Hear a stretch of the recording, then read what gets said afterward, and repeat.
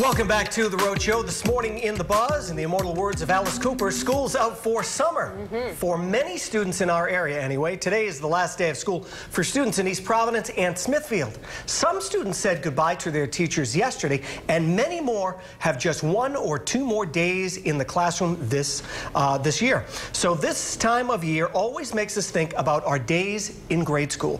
From our field trips and mm -hmm. field days to time watching movies and having special ice cream or pizza treats. There's always some fun to be had before saying goodbye for summer.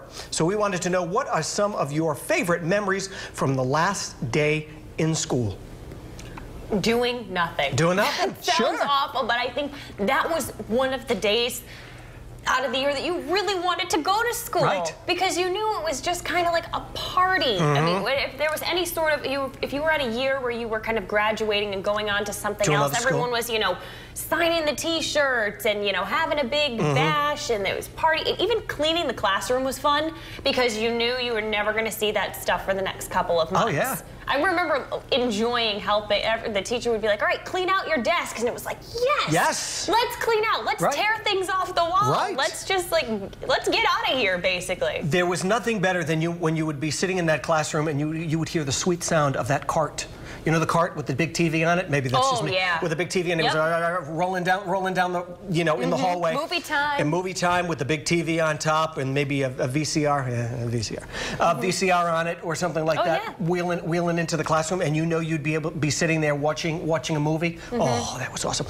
Or when you'd be cleaning out your desk and taking all the stuff out and throwing all like the pencils or whatever else right. you had, and then you'd go, oh, this is the homework that I that I yes. that I've been looking for for. I told you I did it. I told you I did it. Yeah. That was, that was fun. Part, and yeah. then you, you know, you get your report card. Mm -hmm. and, but then later on, even in high school, the last day of finals, sure. you could take your final big. and then leave whenever you were done with right. it. So sometimes getting out at 10 a.m. was just that was, much was better. Was a great thing drive out of there happy. Brendan, did you throw the papers in the air like in Grease and like just, just like start care? running out? Absolutely. Oh yeah, you know me, Will. I'm Mr. Hip Hop, of course. But yeah, I would love the last day of school. You know, I'll never forget the last day of third grade. Our grandfather picked us up and took my brother and myself took us right to see Back to the Future 3. Oh, nice. Forget it. Yes, the best. Well, too bad it wasn't the best one. Though. I know. That's a discussion for another day, Michaela. No more pencils, no more books, no more teachers, dirty looks. Let's see what some of our Rhode Show social media friends have to say about the end of the school year. Mark Anthony Simonson looks back fondly, saying the end of the school year meant that I could have a paper route, enabling me to have an income in addition to being able to stay out late long after the streetlights came on. Yeah, that's true. You don't have school the next morning. Mm -hmm. Do whatever you want. Patricia Adelio Estrella shares an end of the school year memory of her own. Always liked going on field trips. I also liked cleaning the classroom at the end of the year.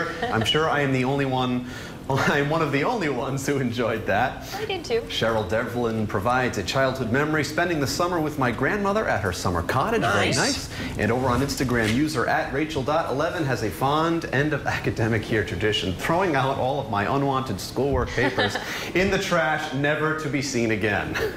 Thank you for commenting, everybody. Well, trending on the